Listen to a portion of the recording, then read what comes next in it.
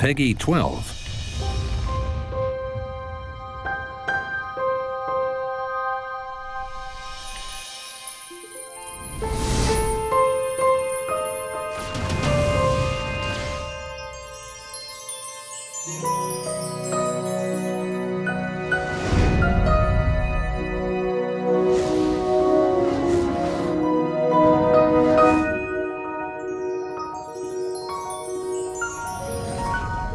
My first memories of playing the King's Quest 1, hearing Greensleeves for the first time.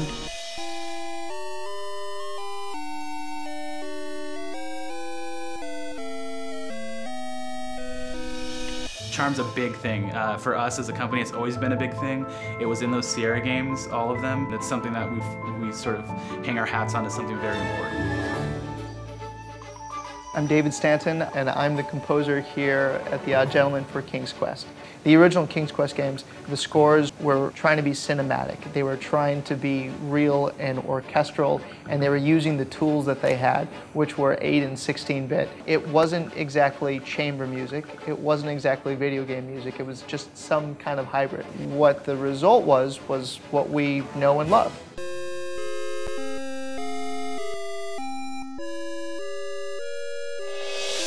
When I begin scoring a scene, I think first of the character and kind of second of the art. King's Quest is such a big world. It is inhabited by all of these really amazing, great, fun, crazy creatures. So the way that we've been going about it is very thematic. Like Graham's theme, Graham, uh, he is a king in process. And really the story is a coming of age story. How does one become a king from a knight?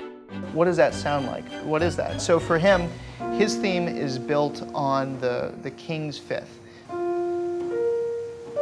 It's actually the four, the, the dominant, and then the tonic, and then the third. So his theme is based upon that fifth. That's the sound of a coronation.